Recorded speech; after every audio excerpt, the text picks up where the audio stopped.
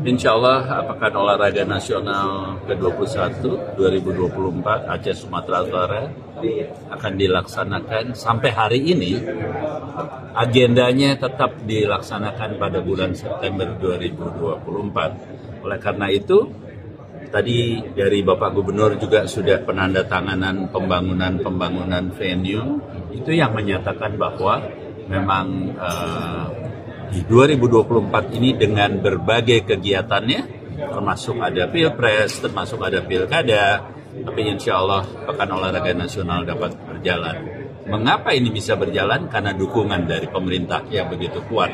Dukungan dari pemerintah daerah, dukungan dari TNI, dari Polri, dan seluruh jajarannya, dan yang pasti dukungan dari masyarakat Aceh juga, sehingga ini bisa berjalan. Dalam uh, chef the mission meeting ini pasti penjelasan kepada seluruh kontingen yang datang.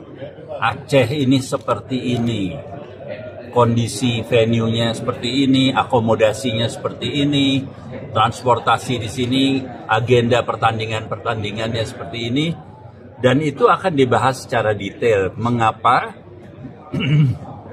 Karena kontingen-kontingen itu kan datang H-2 itu ditanggung oleh uh, panitia besar PON dan H plus 2 mereka sudah harus pergi kembali. Karena apa? Karena terus yang lain juga tetap berdatangan gitu ya. Sehingga mereka berdatangan secara bergantian dan Bapak Gubernur beserta jajarannya telah mempersiapkan sedemikian rupa bahwa akomodasi-akomodasinya juga siap, transportasinya juga siap, konsumsinya siap, venue-venue-nya pasti siap gitu ya. Bagaimana yang kemarin kita sama-sama saksikan, uh, saya menyaksikan penandatanganan untuk didirikannya venue-venue PON khususnya yang dari kementerian dari pusat. Untuk yang dari wilayah dikerjakan semua. Pak, kita ada dua.